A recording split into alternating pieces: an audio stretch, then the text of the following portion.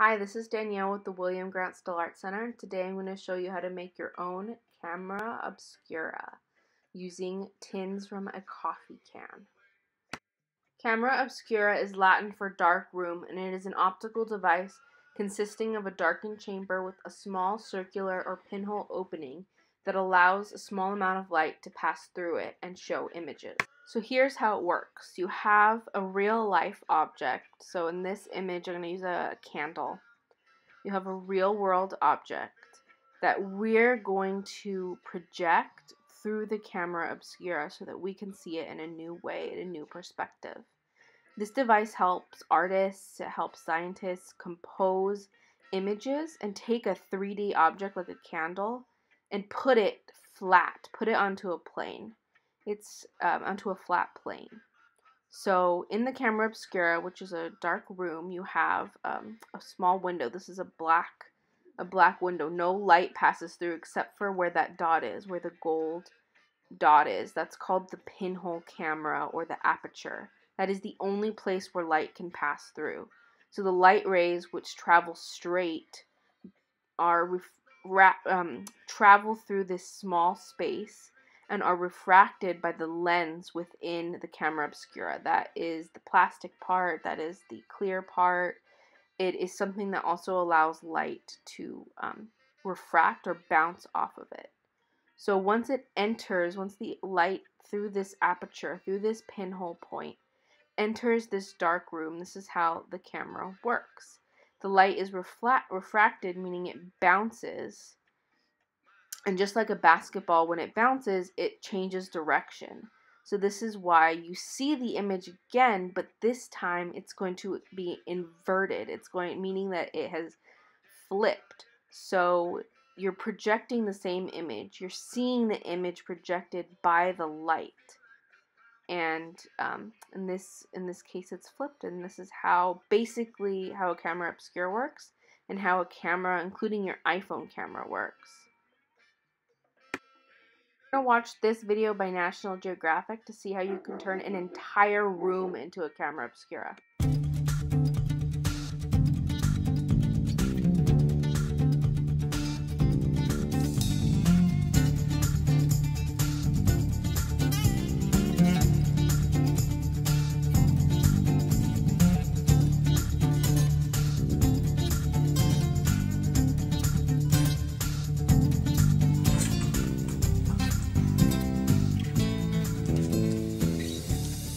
Uh, camera obscura is a dark room, uh, any size, that has an opening looking out into the world.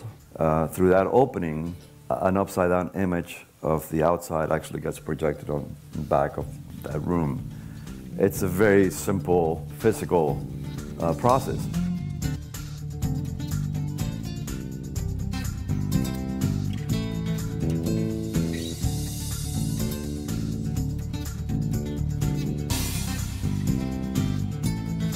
Camera obscuras, as well as regular cameras and the camera on your iPhone, use lenses to refract light and produce an image. In a camera, this would be developed onto photosensitive paper, and that's how you get a photograph. And on your phone, it's put onto your digital camera in the same way by reflecting light through the lens. This fishbowl is demonstrating how a lens works. Um, in that it's clear and it acts as the surface by which the light rays hit and then are refracted and reproduce the same image that you see in real life. Now that we understand how a camera obscura works, we're going to make our own. We'll be using coffee cans for this project. They should be the same size and you should keep the lids if they come with one. We'll also be using tape, a hammer, and a small nail scissors, an X-Acto knife, black construction paper, and something translucent like shrink wrap or a plastic bag.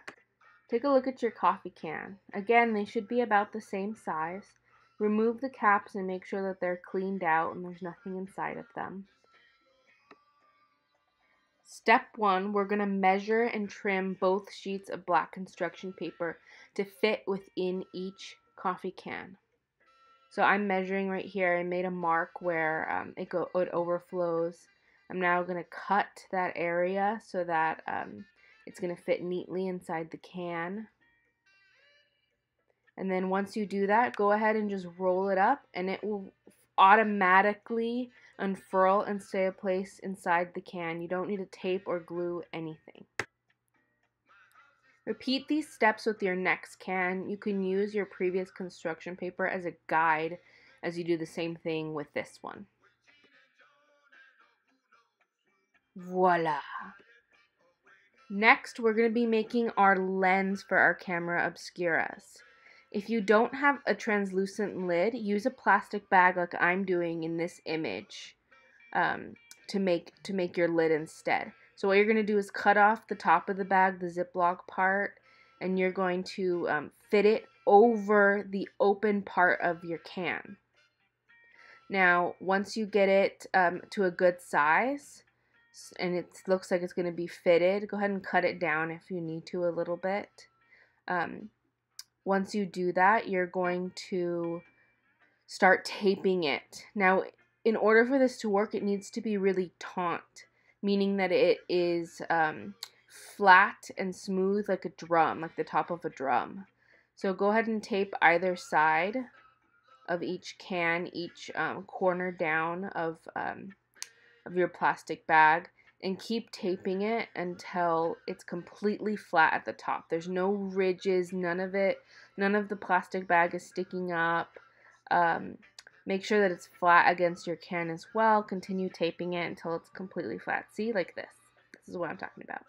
Go ahead and trim also if you have any excess um, parts as well because you're not going to need them and it's better to keep it neat.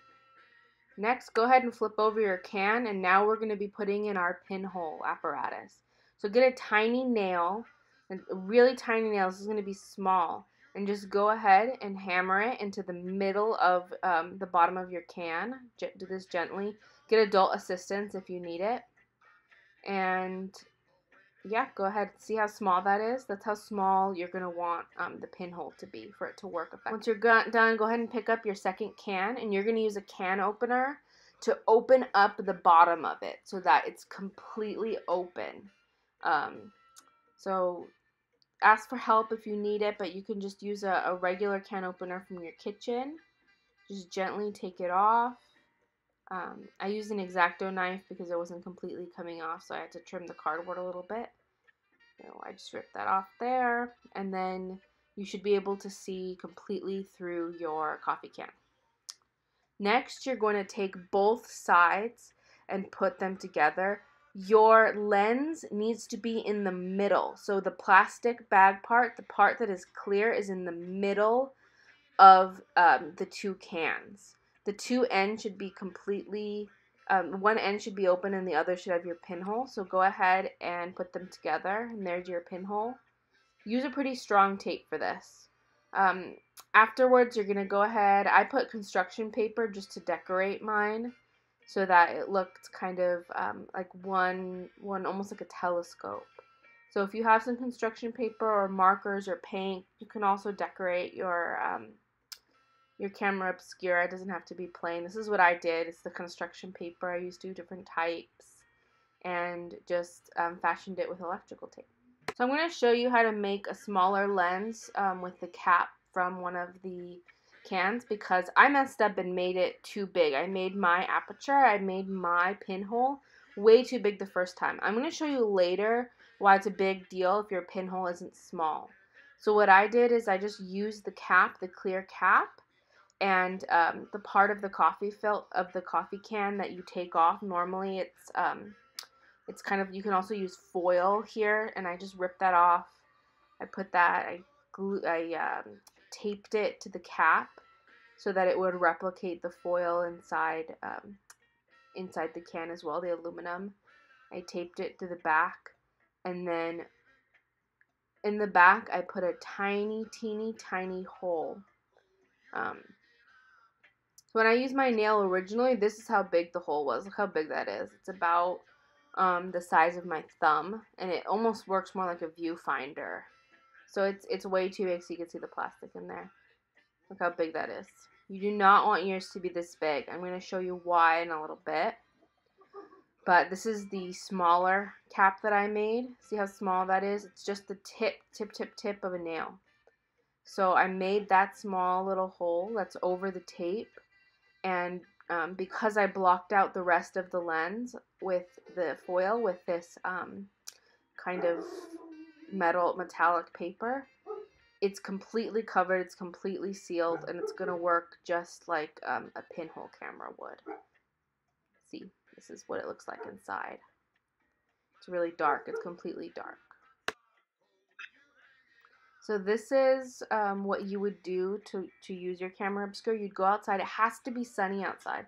It has to be bright. And then take a, I used a jacket, but you can use a blanket or something to completely cover yourself and cover the camera and then look around. Use it like you would a telescope or binocular and look through the large opening and you can see the images projected against your plastic bag. And like I said, it's going to be inverted. This is, with my iPhone, what my um, front yard looks like. So this is what I'm going to be looking through with my camera obscura. So again, this is the bigger apparatus. This is what it's going to look like when we look through our bigger apparatus. I um, used a larger aperture and as you can see, you're not really seeing much. You can see the colors, um, the colors are reflected, the lights are reflected, but too much light is getting through. We can't see much with this. Now with the smaller one, when we look through this one in our camera obscura, look closely. Um, you see those those images you'll see a lot better when you look through your own. Those are all the palm trees in my yard. So you can actually see what's outside inverted and projected through the camera obscura.